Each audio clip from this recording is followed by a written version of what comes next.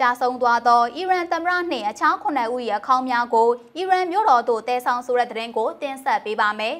။တည်ဆုံသွားတဲ့အီရန်သမ္မတအီဘရာဟင်ရိုင်စီနဲ့အခြား9ဦးတို့ရဲ့ခေါင်းတလားတွေကိုကြာတာပင်းနေ့ကအီရန်မြို့တော်တီဟီရန်သို့ပို့ဆောင်လာပါတယ်။ဇာပနာလက်လည်ပွဲကိုလူထောင်ပေါင်းများစွာလာရောက်စုဝေးခဲ့ကြပြီးဒုက္ခရောက်သူများအတွက်အလုတ်လုတ်ပေးခဲ့တဲ့အာဆာနီတူလို့ရိုင်စီကိုသတ်မှတ်နေကြပါတယ်။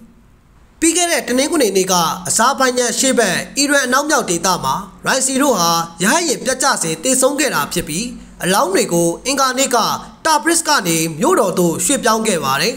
။တီဟီရန်တက္ကသိုလ်ကျောင်းဝင်းမှာဒေသစံတော်ချိန်နနက်9နာရီခွဲကဇာပနလှည့်လည်ပွဲတရားဝင်စတင်ခဲ့ပါတယ်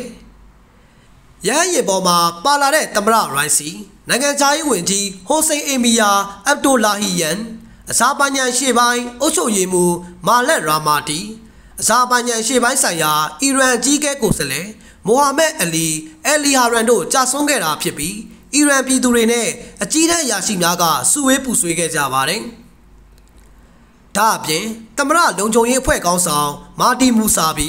ရဟရင်မှုနဲ့တွဲဖက်ရဟရင်မှုရဟရင်ဝန်ထမ်းတဦးတို့တည်ဆုံခဲ့တဲ့အတွက်လည်းပူဆွေးခဲ့ကြပါတယ်။ မိသားစုလိုက်လာရောက်ကြပြီးရုပ်လောင်းတွေကိုအဖော်ပြုလိုက်ပါလာကြပါတယ်။ရိုက်စီကိုသဘောမကျသူတွေရှိတယ်လို့ကျွန်တော်တို့ရဲ့ဗလီဆရာတွေကိုသဘောမကျသူတွေလည်းရှိတာပဲ။ဒါပေမဲ့သူတို့ဟာအပြစ်ရှိသူတွေမဟုတ်ကြဘူးလို့ဒေတာကန်တဦးကပြောပါတယ်